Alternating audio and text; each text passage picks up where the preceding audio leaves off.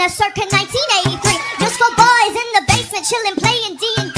That was Lucas, that was Willie, Will, and Dustin, that was a Mike. But one night, Will goes missing while he's riding on his bike. Yeah!